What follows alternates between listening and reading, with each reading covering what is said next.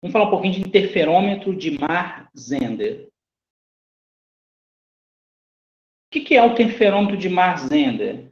O interferômetro de Mar-Zender ele é um arranjo experimental óptico inventado por Ludwig Marr e pelo físico suíço Zender, por volta dos anos 1890. Aqui tem uma aqui tem uma, uma, um, um, arranjo dele, tá? Aqui estão as ideias gerais, tá? Muitas vezes ele é construído com os braços, às vezes em, em, forma de quadrado, aqui está em forma de losango, tá? Mas o que, que tem o interferômetro de Marzender? Ele é composto por esses DFs. DF é divisor de feixe. No caso aqui, divisor de feixe 1 e o divisor de feixe 2. E ele tem os, esses espelhos, espelho 1, espelho 2, e tem aqui D1, D1 e D2, que são os detectores. Detectores de quê? De luz, de fótons, tá? Então, o que, que acontece nesse interferômetro, pessoal? O que, que o interferômetro faz? O objetivo do interferômetro é fazer, é interferir luz com luz e criar padrões de interferência. Existem vários interferômetros, interferômetro de, de Maxwell-Morley, interferômetros, tem outros tipos de interferômetro, né, mas o mais famoso que vocês devem conhecer é de, o Maxwell e Morley. Aqui é o interferômetro de Mar-Zender. Note que ele é da, de 1990, mas esse interferômetro a gente pode estudar ele um pouquinho mais a fundo, por quê? Em, em, em 1990, o Mar e o Zender, ele utilizavam luz e uma determinada intensidade. Só que com o advento tecnológico, o que, que as pessoas puderam fazer? Poderiam, podiam diminuir a intensidade da luz ao ponto, pessoal, de emitir um fóton por vez, ou poucos fótons. Em vez de ter um raio aqui na entrada, em vez de ter um, um, um feixe luminoso, você poderia emitir um fóton por vez. Então, esse interferômetro ele pode ser usado desde para você estudar poucos fótons até estudar muitos fótons. Você pode lançar um fóton por vez, ou um fóton polarizado em determinada direção, utilizando uma espécie de cristal. Então, é isso. O que, que esse divisor de feixe faz? O, o, próprio nome já diz, ele divide o feixe. Ele deixa, ele é um vidro um, ou um espelho semi-refletor, e ele deixa uma parte da luz passar e reflete outra. Então, aqui, por exemplo, na entrada, entra a luz, uma parte passa e vai por cima, e uma parte é refletida e vem por baixo. Aí atinge aqui o espelho, espelho de cima e de baixo, e vem aqui no outro divisor de feixe, aonde, de novo, o, o, o feixe que vem por baixo, uma parte dele vai ser transmitida e uma parte vai ser refletida. Da mesma forma, o feixe que vem por cima, uma parte vai ser transmitida e uma parte vai ser refletida. E aí nós poderíamos ter duas visões, pessoal. Olha só uma visão, por exemplo, de luz. Vamos supor que é um feixe luminoso. Então, a entrada é um feixe luminoso. Então, tem aqui um feixe luminoso. Esse feixe luminoso, ele se divide em dois feixes secundários, um vai por cima, um vai por baixo, refletem no espelho e vão se interferir ou recombinar no divisor de feixes 2. Tá? Ou a gente pode olhar do ponto de vista de física quântica. O que seria do ponto de vista de fótons? Vamos supor que vem um fóton aqui na entrada. Esse fóton, ele vai... Interessante isso. Você pode botar uma bolinha assim, e uma bolinha aqui, e a gente coloca um negócio assim, ó. Por quê? Ele vai em uma superposição por cima e por baixo, reflete no espelho, e chega aqui e se superpõe para se recompor. Então, é uma superposição quântica. A gente vai falar isso um pouquinho mais em detalhes. Né? O que, que, que, isso quer dizer? Tá? O que, que isso quer dizer? Lembre-se, no primeiro caso, o feixe se divide em dois feixes secundários. No caso de fótons, ele vai numa superposição quântica no feixe de cima, no, no, caminho de cima e no caminho de baixo ao mesmo tempo. E aí a gente poderia se perguntar a seguinte, né? Então, o que, que é interferência, afinal de contas, né? Porque interferômetro de Mazenda, o Mazenda e Maxwell Morley utilizavam feixes luminosos. O feixe bate e se divide em dois feixes secundários. Só que agora nós estamos falando de fótons. o que, que seria essa tal interferência do ponto de vista de fótons? Então, olha só, a gente poderia pensar assim, né, como está aqui, ó, que a interferência é um fóton interferindo-se com outro fóton. Então, a pessoa poderia pensar, ah, é um fóton indo pelo caminho de cima, um fóton indo pelo caminho de baixo. E eles vão se interferir. Só que aí, pode acontecer o caso, pessoal, se tem um fóton indo no caminho de cima e um fóton indo no caminho de baixo, quando eles passam no DF2, eles podem sofrer uma interferência destrutiva. Então, nós temos um fóton em cima, um fóton embaixo, e quando eles chegam no DF2, simplesmente desaparece, não tem mais fóton. Então, pensa, nós temos um monte de, um, uma quantidade de energia indo por cima, uma quantidade de energia indo por baixo, aí quando chega no DF2, fótons diferentes, aí quando ele chega no DF2, ele se interfere destrutivamente e essa energia evapora, se some. Eu não preciso nem dizer que isso claramente viola o princípio básico da natureza, que é o princípio da conservação da energia. A gente tem que tomar um pouco de cuidado esse negócio de dois fótons interferindo-se, dois fótons interferindo-se um com o outro. E se os dois fótons se interferirem construtivamente, pessoal, como é que ficaria isso? Aí você pensa, não, mas eles podem se interferir construtivamente, ou seja, vem um fóton por cima, um fóton por baixo, aí quando chegar no DF2, eles se interferem construtivamente. Então vamos fazer uma conta. Se o fóton de cima, ele, o campo elétrico dele vale E, e o fóton de baixo, o campo elétrico dele vale E, se os dois se interferem construtivamente, lá no DF2 vai ser 2E. Não é isso? 2E. E o que eu falei? A intensidade, que é energia, é proporcional ao quê? Não é proporcional ao campo ao quadrado? 2E ao quadrado dá 4E quadrado.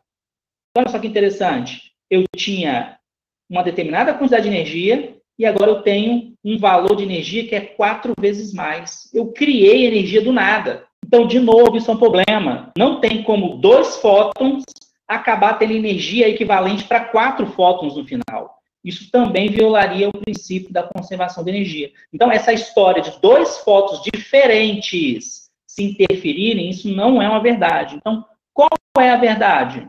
A única conclusão que a gente pode tirar disso aqui, pessoal, plausível, é que cada foto interfere consigo mesmo. Ou seja, cada foto interfere consigo mesmo. Ou seja, se entra um foto aqui na entrada, na realidade, o fóton, do ponto de vista quântico, ele vai numa superposição tanto por cima, a gente coloca assim, ó, tanto por cima quanto por baixo o fóton vai por baixo e por cima ao mesmo tempo em uma superposição, superposição quântica. E é o mesmo fóton. Porque quando ele chegar no DF2, ele está interferindo consigo mesmo. Então, essa é a única conclusão plausível. O fóton, cada fóton interfere consigo mesmo. Então, cada fóton não interfere com outro fóton, ele interfere consigo mesmo. Então, note, pessoal, que isso é uma outra visão de se ver interferência. Vocês estudaram interferência lá com luz, né? Muitas vezes a luz poderia interferir com outra luz. Nesse caso aqui, o fóton ele interfere consigo mesmo, ele não vai interferir com outro fóton. Lembre que a luz tem um monte de fótons. Mas nesse monte de fótons, não é um fóton interferindo com outro fóton, não, é um fóton interferindo com ele mesmo. E a gente pode fazer esse experimento enviando um fóton de cada vez. Assim, os fótons vão atingir D1 e D2 probabilisticamente. Por quê? A gente não sabe se o fóton está vindo por cima ou por baixo. O, o, que a gente chama de estado de um fóton único, ele é a superposição de um fóton do feixe que vai por cima e um fóton do feixe que vai por baixo. Então, a, a, superposição que a gente fala é o quê? É uma combinação linear desses dois, desses fótons que vai por cima e por baixo, na verdade é o mesmo fóton. A gente pode se perguntar eu quero descrever isso. Como é que é isso? Como é que esses fótons vão, esse fóton único, ele vai por cima e por baixo ao mesmo tempo? É que o fóton, ele vai por cima e por baixo ao mesmo tempo. Aí você pode perguntar assim, tá, mas como que eu vou saber se ele está em cima ou está embaixo? Lembra que a teoria é probabilística? Tudo bem? A gente vai descrever daqui a pouco, mas a teoria, ela é probabilística. Nós, nós já vimos que só o fato dos fótons existirem, a teoria é probabilística. Você vai ter uma ideia, você vai calcular uma probabilidade de o fóton estar indo por cima ou estar indo por baixo. Se é uma probabilidade, ele pode estar em alguma das duas posições. A gente vai ver que se o divisor de Feit ele for balanceado, o fóton tem 50% de chance de ir por cima e 50% de chance de ir por baixo. Então, é uma, você tem, você tem chances de iguais de encontrar em cima ou embaixo. Então, assim, como que a gente vai descrever isso, né? Como é que faz para descrever isso? O que, o que significa superposição? O que isso significa para a superposição? Isso significa o seguinte, pessoal. Os estados quânticos, eles são associados a vetores. Por isso que é tão importante em física, pessoal, aprender vetores, a trabalhar com vetores. Porque mecânica quântica, ela é uma física, ela é álgebra linear num espaço vetorial específico. É álgebra linear num espaço vetorial específico. Então, a gente trabalha com vetores. E vetores aqui, ó, a gente desenha dessa maneira, né? Vetor A e vetor B. E aqui, o que, que seria uma superposição de A com B? Superposição é o quê? É uma combinação linear. Uma combinação linear desse tipo aqui, ó, por exemplo, ó, alfa A mais beta A. Isso é uma combinação linear desses dois estados, né? Eu tenho estado A e estado B. Aí você pode perguntar, mas o que é o estado A e o estado B? Por exemplo, o estado A pode ser ir por cima. O estado B é ir por baixo. E como o fóton ele tem chance de ser encontrado nos dois casos, então a maneira da gente escrever ele é como? É uma combinação linear desses dois estados. Então, é uma maneira de de ver as coisas, entendeu? Não é, é não é, é uma outra maneira, né? como é álgebra linear, mas é uma álgebra linear simples. Então, assim, quem seria o estado A e o estado B? O estado A é ir por cima o estado B é ir por baixo. Como ele pode estar nos dois lugares ao mesmo tempo, então a maneira completa de se descrever esse fóton é assim, ó. O alfa tem a ver com a probabilidade de ele ser encontrado por cima e o beta aqui tem a ver com a probabilidade de ser encontrado indo por baixo. Quando falo alfa e beta, pessoal, é módulo quadrado. Lembra lá que o Bohr disse que probabilidade tem a ver com o módulo quadrado. Por quê? Alfa e beta são números complexos, tem aquele izinho. E o que é mais interessante aqui é o seguinte, né? Por exemplo, o estado A, pessoal, ele não é a questão física, porque o estado A, esse A aí, está associada a uma grandeza. Por exemplo, a grandeza A pequeno. Então, toda vez que a gente mede uma propriedade do estado A, ele vai nos dar, olha, essa propriedade, o valor dela é A pequeno. Se a gente mede uma propriedade do estado B, ele vai dizer, olha, o valor dessa propriedade é B pequeno. Então, não confunda o estado com a propriedade. Tá? Por exemplo, nós vamos ter um estado que descreve o spin up, o spin para cima do elétron.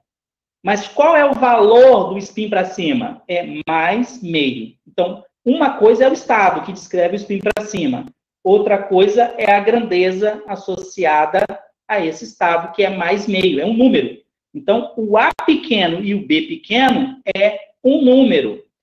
Aí a pergunta que vocês poderiam fazer é a seguinte, tá, então, se eu medir no estado A e perguntar para ele, estado A, qual é o valor da sua grandeza? Ele vai dizer A pequeno. Se eu medir o estado B e perguntar, estado B, qual é o valor da sua grandeza? Ele vai dizer B pequeno. Mas a pergunta é, se eu faço essas perguntas, com qual probabilidade eu vou obter uma coisa ou outra? Porque se eu tiver nessa situação aqui, ó, por exemplo, a partícula está indo por cima e por baixo ao mesmo tempo. E eu vou ter que medir, eu tenho que fazer uma pergunta. A pergunta é: com que frequência eu vou obter resposta A e com que frequência eu vou obter resposta B? Você, você teria que fazer esse experimento, pessoal, várias vezes. Teria que montar um interferômetro de Marzenda e ir jogando fóton por fóton para fazer esse experimento várias vezes. O resultado que você vai chegar é o seguinte: a probabilidade de você encontrar o A pequeno como resposta, a grandeza A pequeno, vai ser proporcional a alfa ao quadrado, módulo, e a probabilidade de obter B pequeno é proporcional a beta grande ao quadrado. E olha só que interessante. são exatamente esses números que acompanham os estados. Seriam como se fosse a, o número que acompanha a componente do vetor, lembra? Lá, quando você decompunha um vetor lá na geometria analítica, tinha um número que acompanhava o versor I. Da mesma forma que tinha um número que acompanhava o versor J. Aqui é a mesma coisa. Esse número, diferente de lá, ele é complexo. Então, o que é importante para a gente não é o alfa e o beta, mas sim alfa e beta módulo ao quadrado. Então, esse alfa e esse beta que multiplicam os estados, eles vão ser as probabilidades. E lembra, probabilidade, pessoal, requer uma coisa feita muitas vezes. Nós só temos como montar uma tabela de probabilidade, nós fizemos esse experimento várias vezes. Então, você monta um aparato de interferômetro de Marzenda, faz isso um milhão de vezes. Cada vez que você faz, pessoal, é um experimento que você está fazendo. Então, você está fazendo o mesmo experimento várias vezes. Então, seriam como se cópias dos seus experimentos. Essas cópias, esse conjunto de mil experimentos que você vai fazer, nós vamos chamar isso de ensemble. E fazendo esse experimento, muitas vezes, a gente monta essas probabilidades. E aí é interessante, porque com essas probabilidades em mãos, aí sim, o que a gente vai fazer? A gente vai saber, olha, é, se eu medir a grandeza, ela tem X chance de dar A. Se eu medir a grandeza, ela tem X chance de dar B. Por exemplo, spin de uma partícula. Spin. Não é o caso aqui, tá? Mas spin de uma partícula. Ah, se eu meço a grandeza spin, então ela tem 30% de dar spin para cima e 70% de dar spin para baixo. Qual é a grandeza que você está medindo? Você está medindo o estado de spin. A grandeza é. O que é spin para cima? Mais meio. O que é spin? Para baixo, menos meio. A, a, a, dúvida geralmente dos alunos é o seguinte, né?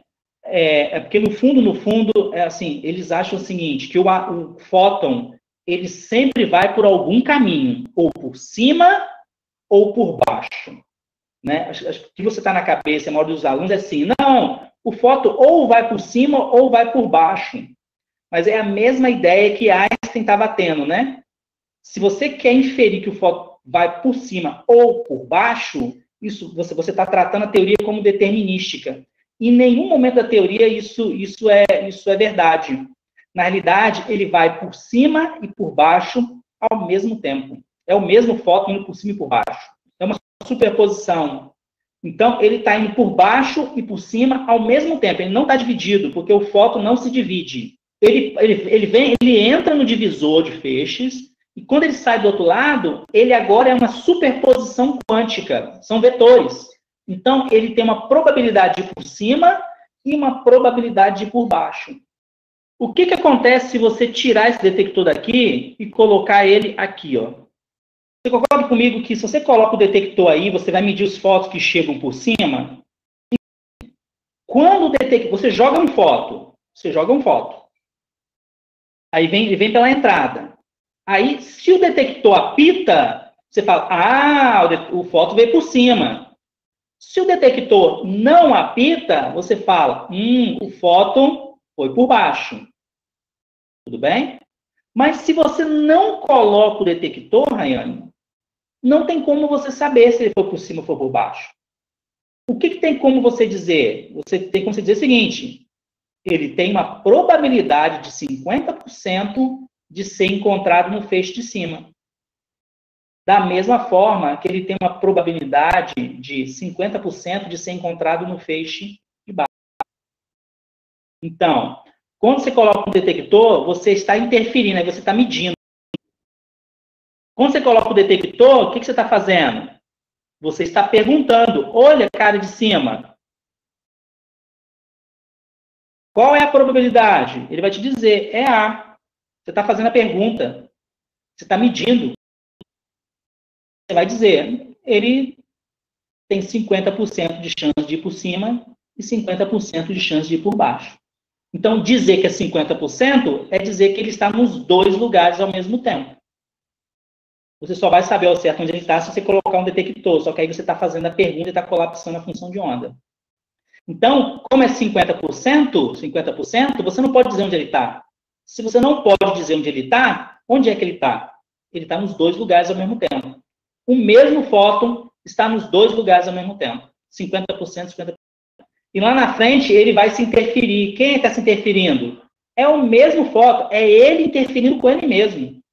Porque é ele vindo pelos dois caminhos que vão chegar no DF2.